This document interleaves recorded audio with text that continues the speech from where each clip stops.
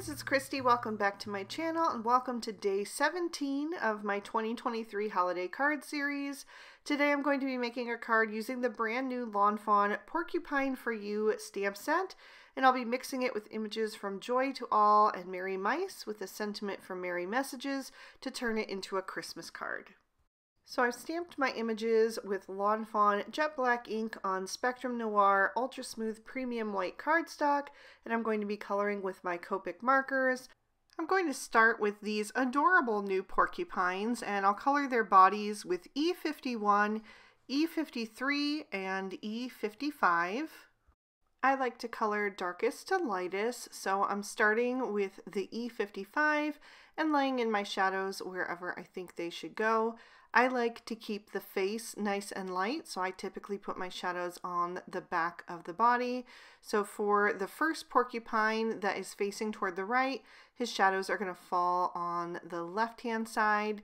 And then for the other porcupine and the baby, they're both facing toward the left, so their shadows are going to fall on the right-hand side. So I started with the E55 and then I blended that all out with the E53 for my midtone and that's going to leave a nice light area with that E51 for the face and the belly on all of those guys, which I think makes them look really super cute. I am just in love with these little guys. This is a brand new critter for Lawn Fawn. They do have some hedgehogs. There's the little mini set that I think is called Hedgehogs for You or something like that. And then there's also a hedgehog in Jump for Joy. But uh, these porcupines are a little bit different. I like how spiky their backs are. I think that's super fun. And uh, yeah, I'm really excited to have a new Lawn Fawn critter to color. So I'm working on their spikes now, or I guess I should call them quills because that's what a porcupine has. And this time I am using E55, E57, and E59. And because those quills are protruding out so much, they would be catching some light. So this time I'm switching my shadows and doing it opposite how I did their bodies. So I'm laying in a nice deep shadow with that E59 and then I'm going to blend that out with the E57 and then I'll use that E55 for the highlight.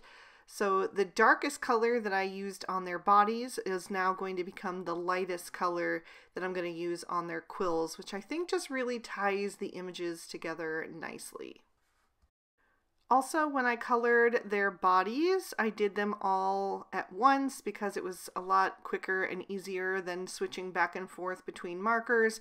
But because I'm working with much darker shades now that are a bit harder to blend, I'm just going to do each of these porcupines individually and that way I can ensure that that paper stays saturated and those colors are flowing together nicely. You can also see that I'm coloring in little circular motions and that is to break up any harsh lines that are left behind from the previous color just so that the blend uh, remains nice and smooth. And then I'm also going to use these same shades for the trunk of my Christmas tree just to tie that all in together. And then I'll give them some rosy cheeks with R01 and R20 and I'll also color the insides of their ears with that R20. That just makes them look a little extra cheerful. And then I'll bring in E47 to color in their noses because I didn't really want to have any black in this scene. Then I'm going to move on to some creamy shades. I'm using E000, E40, and E41. So I'm going to do one of the gifts with this combo. I just wanted it to be a white, but I wanted it to have a little bit of shading. So rather than go with grays, I've really been loving these creamier tones this season. I just think it's something a little bit different. And then I'll hop around and do a few of the other little images, the ornaments for the tree. So I did one of the little balls and then I'm doing some stripes on the other ornaments. I used just the E41 to add some shading to the white parts of all of my candy canes. I like to do that first because it's just really quick and easy to do it all at once. And then I also did color in my star white. I thought that might be something different. I ended up changing my mind later on, but at this point I was trying to keep the color palette very simple, so I decided to go with white. And then I'm going to move on to my reds. I'm using R24, R29, and R39. And again, I'm going to hop around and do a few of these images. And I didn't like color consistently at this point because my son called me, my oldest son. Um, he had just had to buy a hundred stamps for something he's working on, and he was shocked at how much it cost and he was just calling me to confirm that he didn't get scammed or anything. And i was like no that's actually the price of stamps now. They've gone way up. Um, so yeah so i was a little bit um, you know forgetful and i moved on to the ribbon on the gift before i had finished the little ball ornament there that's because i had to answer the phone and was chatting with him for a minute there he was afraid that maybe he'd bought a different kind of stamp that was for something else, but no, they were just regular forever stamps with the little flag on them. But anyway, yeah, we can all commiserate, can't we, over the price of postage stamps? Gosh. Anyway, we are going to continue coloring in a few of these accessory images. I wanted there to be quite a few little pops of red because we are going to have some green on here, but there's also going to be the green of the tree. So there'll be quite a bit of green. So I just wanted to balance that out by having enough red on this scene. So I'm going to do the outer parts of one more ornament and then I'm going to use just my R29 to fill in the red stripes of my candy canes. And I decided to have two start with red like in the crook of the candy cane. And then the other two I started with white just to kind of mix it up and make it a little bit different. And then I also decided to do one of the gifts with red wrapping paper. And I originally started with the R29 so I just switched to the R39 because I wanted that depth down at the bottom of the gift and also on the bottom of the lid. And then just blended upward with the R29. And that's going to give me a nice little highlight at the very top with the R24. So I'm going to fill in all of that and also the area under that bow. And then the last thing that is going to be red is the tree skirt. So I'm going to use that R39 and kind of create a deeper shadow there up on the back side of that tree skirt because that tree is really big. So it would be casting a nice deep shadow there. And then I will blend out with the R29 and I'm really making sure to scrub over the edge of the darkest shade, the R39, with this mid-tone to just break up, you know, that line so we don't get any harsh little delineation marks, you know, where the colors kind of meet together. And then I'm going to do the same thing with the R24, just making sure to go over the edge of that R29 too, to just soften that up and make the colors flow together a little bit better. So for the green of my accessory images, like the gifts and the ornaments, I'm going to use G14, G16, and G29. This is a green that has a lot of blue tone to it. It's very cool undertones. And so I thought that that would be really pretty. And it's a very traditional green, which is what I wanted for this scene. I wanted to go with a very traditional color palette. And I'm also going to be bringing in something in just a little bit, which is where I drew my color inspiration from. So we'll get to that uh, shortly, but for now I am just going to hop around again and just color in. I did the, the ribbon on the red gift. I'm going to do the outer parts of two of the ornaments, just making sure that one has a white stripe and one has a red stripe so that they're not identical. I did one of the plain ball ornaments as well, and then I'm doing the center stripe on the red ornament on the far right there. And then I decided to do the last gift wrap in this green combo as well. This one was a little bit easier to color in because it doesn't have a separate lid, so pretty quick and easy to do. And then I am going to go back to my creamy white combo to finish out my last couple of little objects because I felt like the white was a little bit out of balance. We didn't have quite enough of that. So I did the bow on the green gift and then I'm also going to do this stool in this combo. So using that E41 first and then blending out with the E40 and then adding in a little of that E triple zero. So as I was looking at those ornament toppers, I realized that I was going to have to bring in another color and it was either going to be silver or gold that I went with. I decided to go with gold. So I used the YR23 to fill all of those in. And then to tie that in somewhere else, I decided to go ahead and do a gold star for the top of the tree. So I used that and then blended out with the YR21 and then use the Y triple zero to finish that off. And because it was so light originally, I could just color right over that and you would never even know that it was a different color to begin with. So for my Christmas tree, I wanted to go with a very different green combo than the green ornaments so that it, they would still stand out against it. So I decided to use YG03, YG05, YG07, and YG09. So this is a more of a yellow toned green, except for the YG09. The YG09 has some cooler tones in it, so I think it does tie in well to the other greens that we used.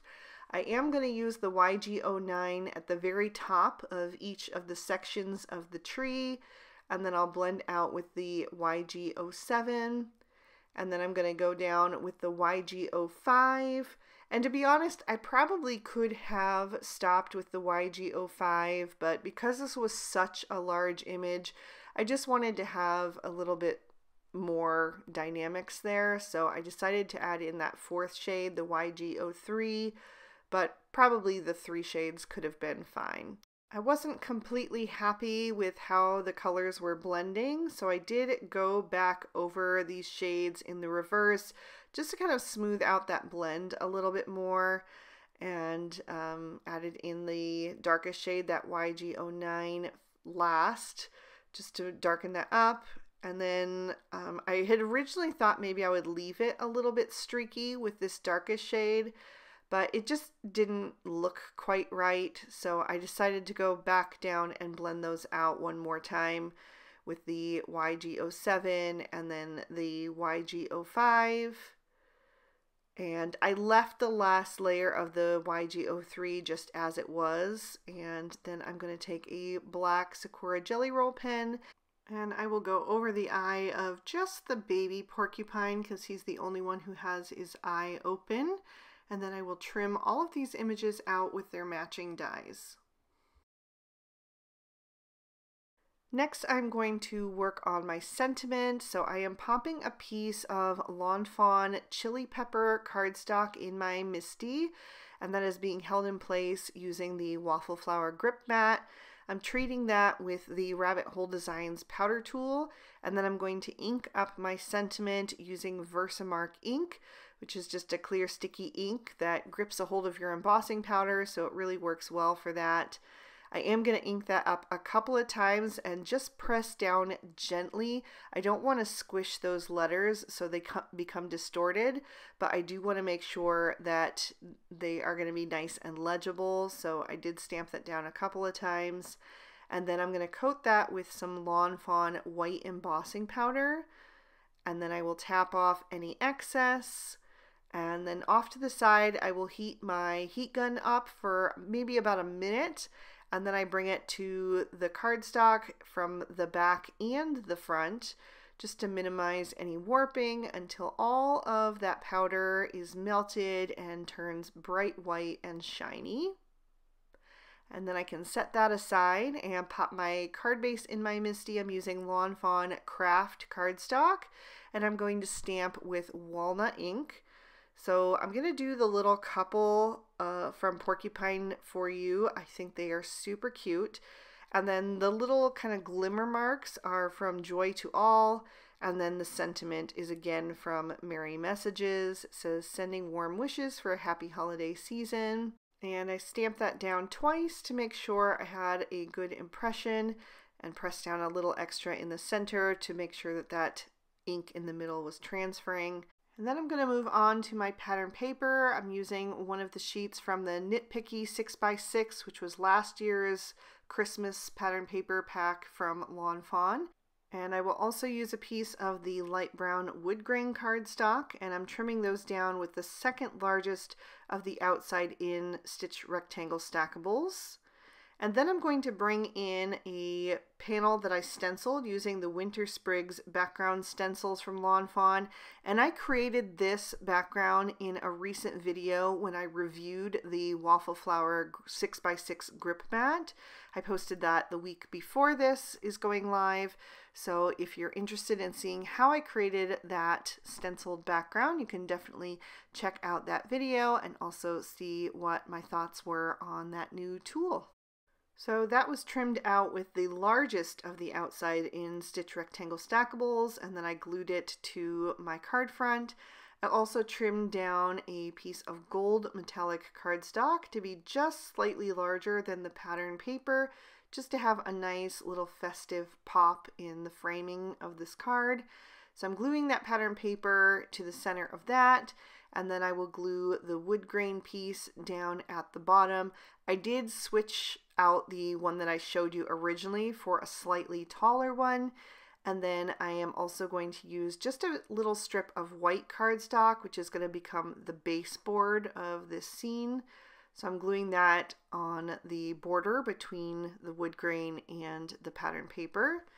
I've added some foam tape to the back of that, so I'll peel off the release papers and then pop that up in the center of the card. I was just making sure that it actually was the bottom that I was um, that was facing the correct way as I'm adhering this. And then I can bring in my images and my sentiment, which I trimmed down with the largest of the everyday sentiment banners. And I'm going to glue that down at the bottom of the scene just above that stitching detail on that wood grain cardstock. When I'm building my scenes, I usually like to start with the largest image first. So that is going to be the Christmas tree. And I wanted that to be more over toward the right hand of the scene. So that's where I'm going to glue that right up toward the bottom of that baseboard. And then I am going to go ahead and add the star to the top because I just want to make sure that it wasn't too high. I didn't mind if it touched the gold of that you know, metallic paper, but I didn't want it to be hanging above that. So, and then I'm going to add in the little stool from Merry Mice, and I wanted to tip it at a bit of an angle. Then I'm going to take this larger porcupine, which is going to be the daddy in my scene, and I'm going to put him so it looks like he's standing on one foot and leaning over to put one of the ornaments on the tree. So I'm just going to take that red ball and tuck it under his hand while that glue is still wet. Then I'll take the other big porcupine, which is going to be the mama in my little scene here. I'm going to place her over toward the bottom right of the scene, just above that sentiment strip and then I'll have the baby just sitting right in front of her, right along that sentiment strip as well. And then I'm going to arrange my gifts over on the left hand side, starting with the square red gift, and then I'll do the circular white gift, put that a little bit more toward the right hand side, and then the little green one is going to go down in front on the far left as well to kind of balance out the mom and baby porcupine. Then I'm going to start decorating my tree with my ornaments and candy canes. And I just wanted to spread them out a bit and make sure that two of the same color weren't right up next to each other or two of the same shape. So I'm kind of, you know, picking and choosing different ones to put here and there. I even tucked one back behind the mama porcupine to make the tree look nice and full. And as I was doing that, I kind of knocked the green one on top off kilter, but I will realize that in a second and fix it before that glue dries. And then in the center of the middle tier, I'll add another candy cane. And then I'm just kind of choosing a few more for the bottom tier. I wanted to start with another green one since we started with a red one on the tier above. And then I'll put another candy cane in the center. And then I have a few extra little ornaments, so I decided to put these down on the floor as if maybe the mom and baby are kind of handing the ornaments to the dad so that he can hang them on the tree. And so I kind of arranged those in a little grouping down near the gifts. And then I added the last red ornament into the mama's hands. So I just kind of slipped that back behind the baby and then fix the baby so he would be overlapping once again. And then I had one more candy cane, so I decided to tuck that on the far left next to the small green gift. And then the more I looked at it, the more I kept thinking that the top left corner looked empty.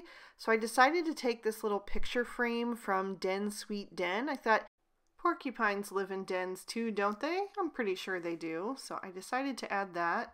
It was really the perfect size to fit that empty space, so I just tucked that back behind the dad porcupine's quills. And I really like how that looks there. I think that finished things off really nicely. So all that was left was to add a little bit of sparkle. So I'm taking some Stardust Stickles and adding it to my star topper and to all of my ornaments. For the ones with the stripe, I just added it to the center stripe, and then for the ball ornaments, I just added it toward the bottom. I also added it to the candy canes and all of the ribbons on the gifts. And that is going to finish this one off. So I will lift that up to the screen so you can see all of the sparkle and the shine from that metallic gold cardstock. And I'll give you another peek at the inside as well. I really hope you guys enjoyed this one and hopefully it gave you some inspiration to how to take a stamp set that is intended for one holiday and maybe use it for something completely different like Valentine's to Christmas. If you did like it, please be sure to hit that thumbs up button and leave me a comment down below. I'd love to hear from you. Subscribe if you haven't already and ring that notification bell if you want to be alerted whenever I post a new video. All of the products I use will be listed and linked down below in the description bar, and I will also put up day 17 from the previous two years of Holiday Card Series in case you'd like to keep watching. Thanks so much for spending your time with me. I hope you had a good one. Bye-bye.